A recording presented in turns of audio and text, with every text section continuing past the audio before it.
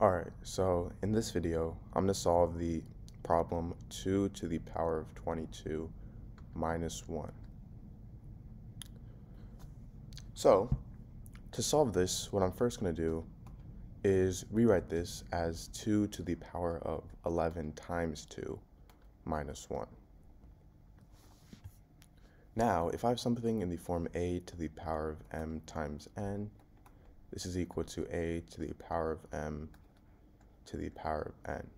So 2 to the power of 11 times 2 is equal to 2 to the power of 11 to the power of 2 minus 1.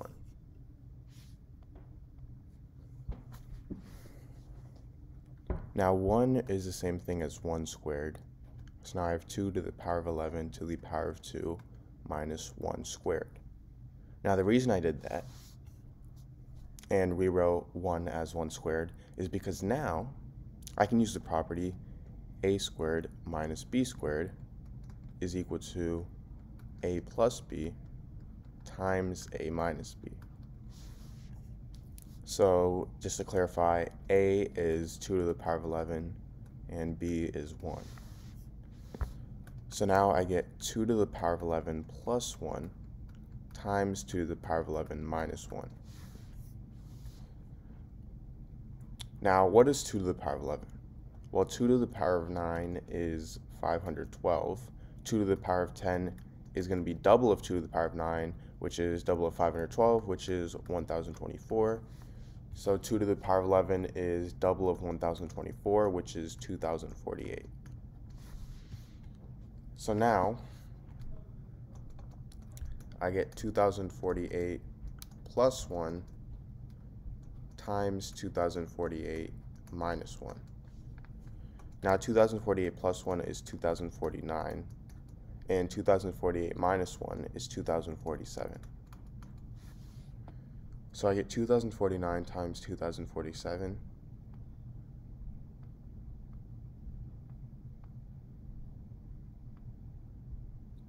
And now, a simpler way of multiplying this rather than the usual method of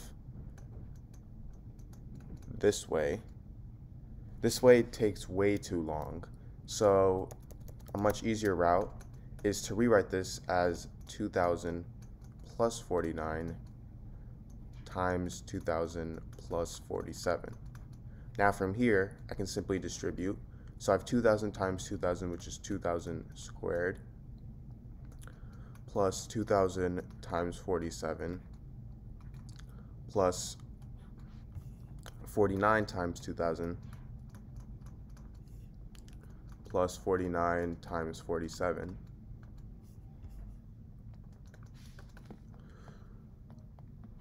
Now 2000 squared is going to be 4 million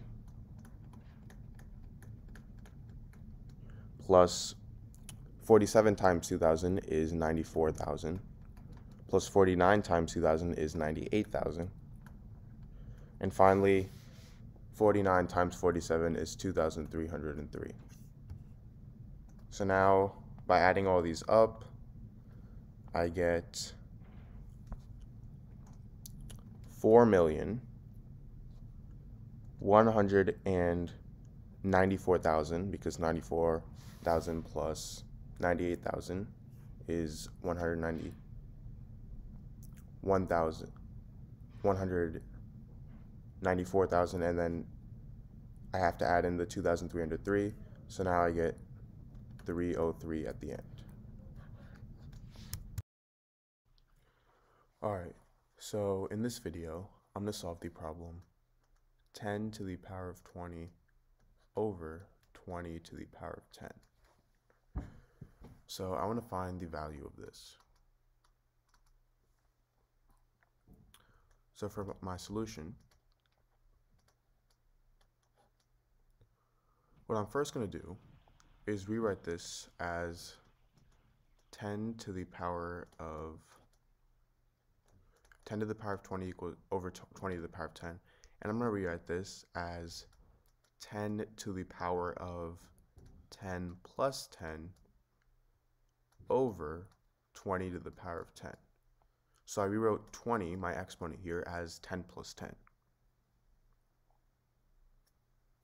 Now, the reason I did that is so I can use the property a to the power of m plus n is equal to a to the power of m times a to the power of n.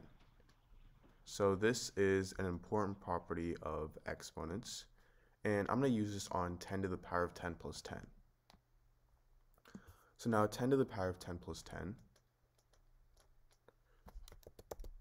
that's going to turn into, we can think of both 10, but 10 as both m and n, so this turns into 10 to the power of 10 times 10 to the power of 10 all over 20 to the power of 10. Now, this can be written as 10 to the power of 10 times 10 to the power of 10 over 20 to the power of 10. All I did was I just grouped 10 to the power of 10 over 20 to the power of 10 because this way I can use the property a to the power of m over b to the power of m is equal to a over b to the power of m. So in this case, this turns into 10 to the power of 10 times 10 over 20 to the power of 10, which is equal to 10 to the power of 10 times 1 half to the power of 10. And finally, if I have something in the form a to the power of m times b to the power of m, this is equal to a times b to the power of m. So this is going to turn into 10 times 1 half to the power of 10, which is equal to 5 to the power of 10. So if you liked the video, please make sure to leave a like, subscribe, and also share this with any friends or family. Thank you.